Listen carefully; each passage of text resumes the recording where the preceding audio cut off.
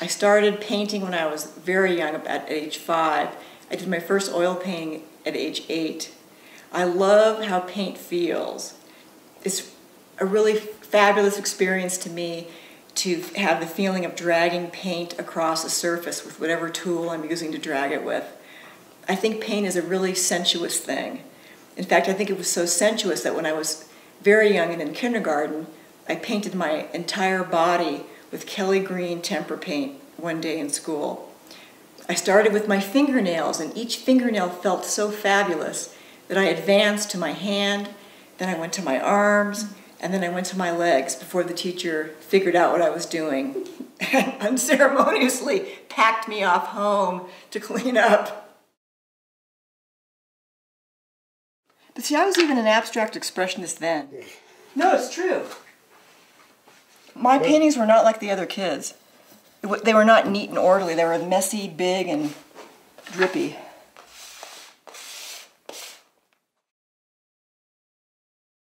No, I love a good mental challenge, and the act of creating each piece of art is an extreme mental challenge. You start with a blank piece of canvas, board, or paper, and you wind up with something beautiful at the end. Um, and another thing is, is, to create a really fabulous piece of art is a really scary experience. And I love to be scared. It's invigorating. The abstracts are all landscape based. The New Mexico landscape here is extremely inspiring. It's a huge expanse of landscape with a lot of changing weather, dramatic weather, um, very dynamic, and I try to express that feeling in the landscapes. The landscapes are basically huge swaths of color, movement, and line.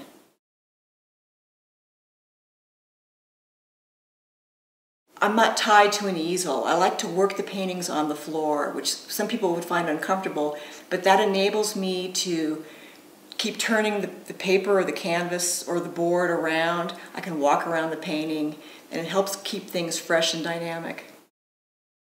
Well, I do the landscapes both on paper and on a rigid support. Um, I start by introducing line and color, and I let those two elements take me where the painting wants to go. Right now I'm using mostly acrylic paint because I can work faster. Acrylic paint dries quickly, so I can add multiple layers, uh, a lot of multiple layers in one session of painting.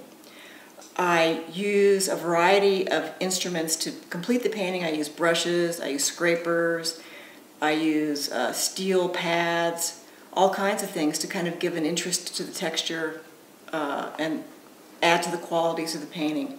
And I feel that using the acrylic paint helps that process. I don't have to wait long periods of time for oil paint to dry over multiple weeks in one painting.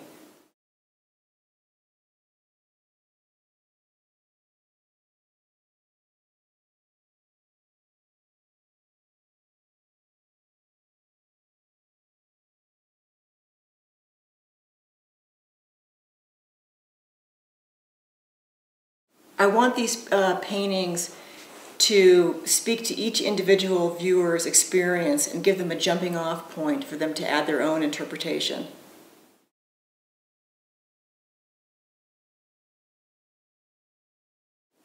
The figures came about sort of by accident.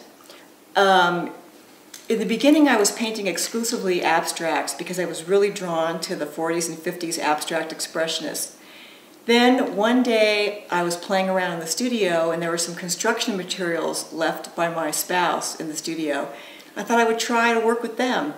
And I had a paper piece that I was reworking. So I used some of these construction materials, which was mostly textural uh, type stuff, materials. And I put a lot of that on the paper. I added layers of paint to that. And then I found some sheetrock screws and nails around that I used to draw a seated abstract figure, which came out fairly compelling. From there, the figure series emerged by a process of um, experimentation over a period of time. I was very influenced by a show that I saw in 2002 of Nathan Oliveira's paintings at the San Jose Art Museum in California And it, I was very struck by the power of one, the single figure that he does. So I started, I started with that, and then I went on to do groups of two and three figures on both paper and canvas. I start by randomly adding layers of acrylic paint to the paper or canvas. This goes on for several different layers.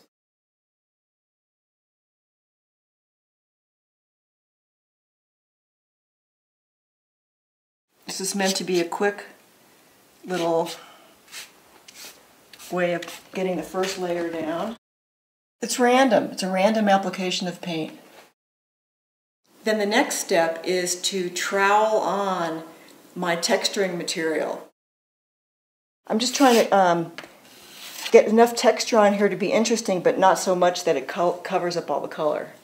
So color has to be left open. After that, I add more layers of paint. It's a complicated process. Again, it's just random. After I feel that there's enough layering of paint and, and uh, texturing material, I'll take um, a piece of graphite or charcoal and sort of lightly rough in a composition of abstract figures. I don't draw the entire figure, but just enough line to give me the roadmap of where to go. And then after I've done that, I start adding and subtracting paint with a paper towel and brush.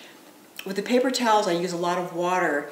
This helps sort of melt down the, the texturing material, which exposes the lower layers of the different paint colors and gives sort of a quality of the painting having been excavated, as though it were from an archaeological site.